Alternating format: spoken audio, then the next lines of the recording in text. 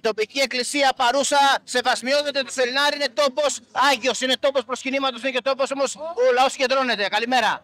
Είναι η είσοδος του νομού μας και αφ- πάντοτε επικαλούμαστε τις πρεσβείες του Αγίου Γεωργίου να μας προστατεύει και να αποδιώκει όλα τα κακά τα οποία μας βρίσκονται.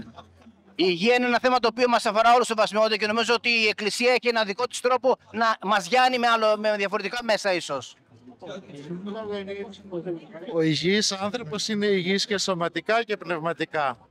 Χρειάζεται να είμαστε και στα δύο επίπεδα υγιείς.